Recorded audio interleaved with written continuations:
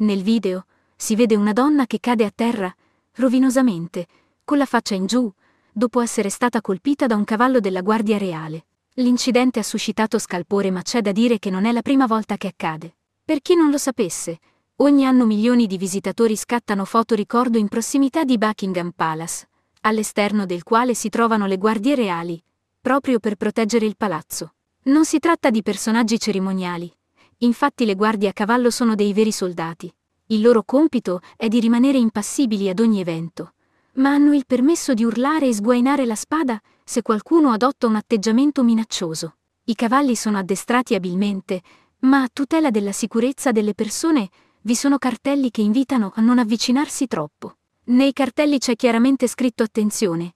I cavalli possono scalciare o mordere. Grazie. Ed è quello che purtroppo è successo ad una donna. Nel video si vede chiaramente che si avvicina troppo al muso del cavallo della Guardia Reale. L'animale la colpisce proprio per allontanarla. E la donna perde completamente l'equilibrio. Cade a terra, col viso all'ingiù, anche se fortunatamente non si è fatta molto male. Alcuni turisti la soccorrono e le danno una mano a rialzarsi, mentre la Guardia Reale rimane impassibile, eseguendo gli ordini imposti da Buckingham Palace.